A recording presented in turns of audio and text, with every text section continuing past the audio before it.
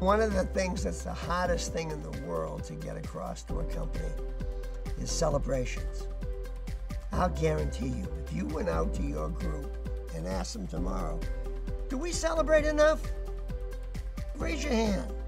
You wouldn't get one hand. Why is that? Why do companies not celebrate enough? It's a crazy behavior. I don't want to waste the company's money. I'm saving the company's money. I'm doing all this. It's pennies in the scheme of things. It, it's time wasting. No, it isn't. It's an incredible reward system. They have everybody have a celebration about small successes. The more you celebrate, the more people will perform.